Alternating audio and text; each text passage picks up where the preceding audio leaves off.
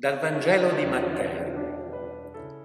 In quel tempo, sei giorni dopo, Gesù prese con sé Pietro, Giacomo e Giovanni, suo fratello, e li condusse in disparte su un alto monte e fu trasfigurato davanti a loro. Il suo volto brillò come il sole e le sue vesti divennero candide come la luce. Ed ecco, apparvero loro Mosè ed Elia, che conversavano con lui. Prendendo la parola, Pietro disse a Gesù, Signore, è bello per noi essere qui. Se vuoi, farò qui tre capanne, una per te, una per Mosè e una per Elia. Egli stava ancora parlando quando una nube luminosa li coprì con la sua ombra.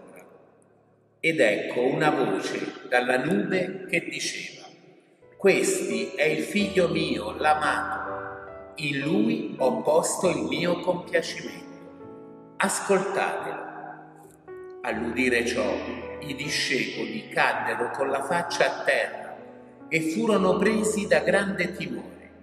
Ma Gesù si avvicinò, li toccò e disse, Alzatevi e non temete. Alzando gli occhi, non videro nessuno se non Gesù solo. Mentre scendevano dal monte, Gesù ordinò loro non parlate a nessuno di questa visione, prima che il figlio dell'uomo non sia risorto dai morti. Sorelle e fratelli carissimi, siamo arrivati alla seconda domenica di Quaresima e come nella prima ogni anno ci viene proposto dal Vangelo il brano delle tentazioni, così nella seconda ogni anno ci viene proposto il brano della trasfigurazione di Gesù sul monte Tabor. Questo è il motivo che ci ha portato a Crecchio per registrare la buona novella nella chiesa parrocchiale, dove, come potete vedere alle mie spalle, c'è un bellissimo quadro che rappresenta proprio l'evento della trasfigurazione. Di solito nel Vangelo gli episodi sono raccontati uno di seguito all'altro, senza troppe precisazioni temporali. Questa volta invece l'Evangelista Matteo ci dice che l'episodio della trasfigurazione avviene sei giorni dopo e quindi scatta immediatamente la curiosità di sapere cosa era successo sei giorni prima. Sei giorni prima della trasfigurazione, Gesù con i suoi discepoli si trovava a Cesarea di Filippo e a un certo punto domandò ai discepoli chi dice la gente che io sia e soprattutto voi chi dite che io sia. E Pietro, a nome di tutto il gruppo, risponde tu sei il Cristo, tu sei il Messia, tu sei il figlio di Dio. E Gesù lo loda perché non con la sua intelligenza, non con la sua perspicacia, ma per un dono dello Spirito Santo, per una illuminazione che veniva da Dio, Pietro ha potuto rispondere in quel modo. Gesù si sente quindi pronto per annunciare per la prima volta ai suoi discepoli più stretti, ai suoi apostoli, ciò che gli accadrà lungo il percorso della sua esistenza e quindi per la prima volta annuncia la sua passione, la sua morte e la sua risurrezione. A quel punto Pietro ancora una volta interviene e questa volta interviene per dire a Gesù non sia mai Signore, tu non devi andare a Gerusalemme dove dovrai essere giudicato, mortificato, picchiato, addirittura dovrai patire e quindi morire. Non sta scritto in nessuna pagina della Bibbia questo. Il Messia è protetto da Dio, da Dio. il Messia è benedetto da Dio, non può avere tutti questi torti, non può sopportare la morte, anche se tu ci hai detto che il terzo giorno risorgerai. E allora Gesù deve dire a Pietro, come prima gli aveva dato un complimento, deve dire a Pietro qualcosa di spiacevole.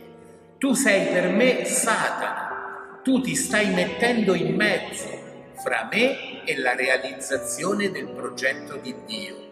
Tu sei un ostacolo fra me e la realizzazione del disegno del Signore perché tu ragioni secondo gli uomini, secondo la logica della pianura e non secondo Dio.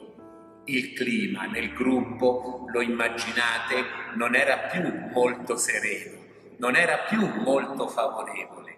Capita anche a noi quando qualcuno ci rimprovera di avere un pizzico di risentimento verso di lui.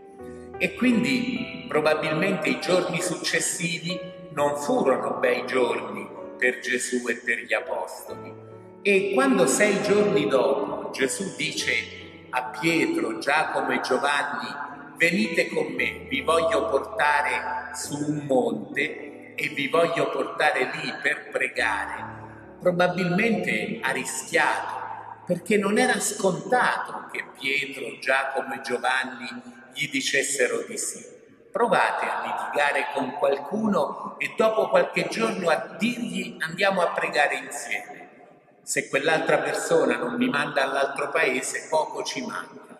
E invece Pietro, Giacomo e Giovanni gli dicono di sì, accettano questa proposta del Signore, si lasciano prendere in disparte, si lasciano accompagnare sul monte.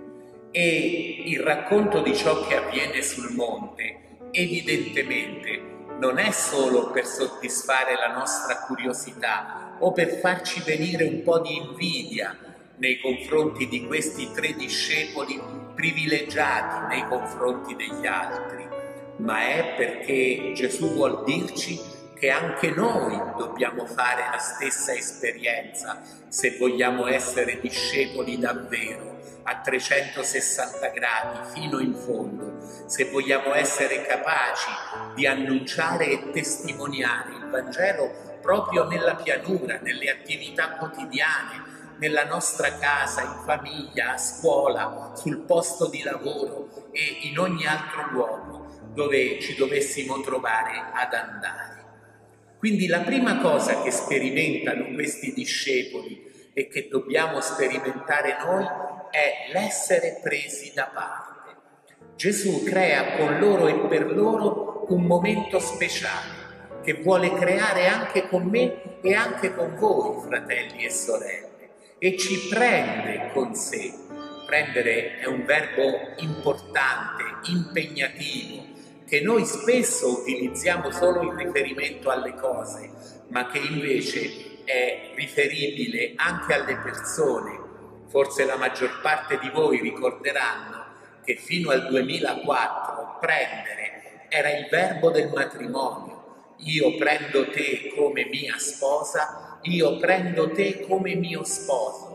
Quindi Gesù con questi discepoli voleva avere una relazione profonda, intima, sponsale. Il nostro rapporto con Gesù, la nostra fede, il nostro cristianesimo non può essere qualcosa di superficiale, qualcosa che rimane sopra sopra la nostra vita ci vuole coinvolgere nell'intimo, come appunto fa una relazione sponsale. Se noi non comprendiamo questo, l'episodio della trasfigurazione ci è del tutto inutile. E quindi saliti sul monte, questi tre discepoli fanno l'esperienza della vicinanza con Dio. Il monte, come tante volte vi ho già detto, per gli antichi era il luogo dove Dio abitava, dove era più facile incontrarlo. Il monte era il luogo della logica di Dio, opposta, contraria alla logica della pianura. In pianura vige la logica del più forte, di chi vuole dominare, di chi si vuole imporre, di chi vuole asservire a sé le persone. Sul monte, nella logica di Dio, vige la logica del servizio, della fraternità, dell'amore, della misericordia, della condivisione. E lì, sul monte, Gesù si trasfigura. Il verbo utilizzato dall'Evangelista si, significa ebbe una metamorfosi. e probabilmente quando sentiamo questa parola che si usa non troppo frequentemente, i nostri ricordi vanno alla scuola, quando studiando le scienze, ad esempio, ci hanno fatto vedere la metamorfosi, la trasformazione del bruco in una farfalla. Tanto era brutto, orribile, ripugnante il bruco, tanto era bella, attraente, affascinante la farfalla. Un po' ai discepoli sul monte capita questo. Gesù in pianura spesso veniva irriso, giudicato come un fallito, considerato un perdente. Addirittura il profeta Isaia, come sapete, nei carmi del servo sofferente aveva detto che di fronte a lui ci si copre la faccia. È un obbrobrio così grande che ci vergogniamo anche semplicemente a guardarlo. Sul monte, invece, come il bruco trasformato in farfalla, noi vediamo la vera identità di Gesù, vediamo la sua gloria che non è la gloria della potenza, non è la gloria della forza, ma è la gloria dell'amore, la gloria della misericordia, la gloria del perdono. Per questo motivo il suo volto diventa luminoso come il sole. Per gli antichi il sole era la più semplice raffigurazione di Dio, per la sua lucentezza e per la sua incorruttibilità gli antichi non conoscevano le macchie solari, non sapevano che il Sole prima o poi sarebbe estinto. Noi lo sappiamo, ma resta il concetto della luminosità del Sole, così come le vesti di Gesù che rappresentano la sua dignità, il suo essere più preciso e perfetto, sono vesti di luce. Chi si trasfigura insieme con Gesù chi lo segue sul monte farà anche su di sé la stessa esperienza. Infatti Gesù ci ha detto qualche domenica fa non solo che Lui è luce, ma che anche noi siamo chiamati ad essere la luce del mondo. E poi appaiono Mosè ed Elia a rappresentare l'Antico Testamento, il Pentateuco, la legge, i libri storici e i libri profetici. Tutto ciò che aveva parlato di Gesù nell'Antico Testamento è rappresentato da questi due uomini che finalmente si trovano di fronte a chi ha realizzato ciò che loro avevano detto, ciò che loro avevano annunciato. Ma Mosè ed Elia erano anche due uomini saliti sul monte per vedere Dio e la sua gloria, ma non potettero vederlo. Mosè lo chiese esplicitamente a Dio, voglio vedere la tua gloria, ma Dio gli disse, tu non puoi vederla perché chi vede il volto di Dio deve morire. Tu mi potrai vedere, ma soltanto di spalle. Mi potrai vedere quando sono già passato. Mi potrai riconoscere nelle situazioni che vivi nelle cose che osservi, nelle persone che incontri. Ed Elia, dopo aver vinto in modo dirompente con i sacerdoti e i profeti di Baal e dopo averli ammazzati, probabilmente pensando di fare la volontà di Dio, deve fuggire nel deserto per non essere ucciso dalla regina Jezabele. E poi viene condotto sul monte anche lui al cospetto di Dio, perché possa operare la sua trasformazione, la sua conversione. Sente prima un terremoto, poi un fuoco violentissimo, poi un vento capace di spaccare le pietre, ma Dio non era nel terremoto, nel fuoco, nel vento impetuoso. Dio non è dove si manifesta la forza, Dio era nella sottile voce di silenzio di un vento leggero. Elia deve riconoscere Dio dove pensava che Dio non potesse essere. Anche noi dobbiamo riuscire a fare così. E poi, in tutta questa bellezza, interviene ancora una volta Pietro, che è affascinato che è ammaliato da tanta bellezza, la vuole abitare, vuole rimanere lì e vuole rimanerci per sempre. Signore, è così bello per noi stare qui. Facciamo tre tende, una per te, una per Mosè, una per Elia. Per noi non c'è bisogno, ci basta questa luce, ci basta questo calore, ci basta questa bellezza. Ma il Vangelo ci dice che non è sufficiente semplicemente vedere la bellezza, contemplare la bellezza. Quella bellezza contemplata la dobbiamo riportare in pianura, la dobbiamo riportare nella quotidianità.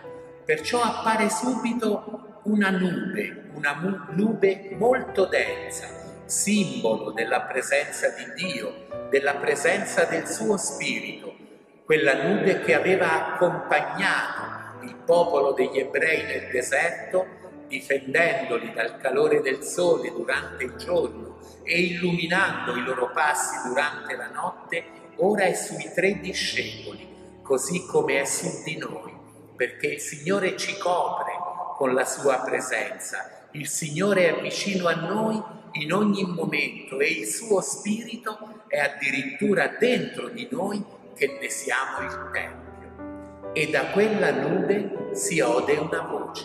È Dio stesso che parla, è Dio che rivela la verità delle cose. E quella voce per la seconda volta, così come nel momento del battesimo, dice di Gesù che è il figlio di Dio, che è il suo prediletto, che in lui Dio si è compiaciuto. Ma aggiunge una parola. Nel battesimo non fu detto ascoltate, perché Gesù ancora non aveva iniziato a parlare. Ora la voce di Dio dice ascoltatelo. Certamente è un comando. Io e voi dobbiamo ascoltare Gesù, ma è una raccomandazione di un padre, è l'invito di un padre che ci dice mi raccomando a voi, ascoltate Gesù se volete la felicità nella vostra vita, se volete realizzare la vostra esistenza, seguitelo e seguite quanto vi dice.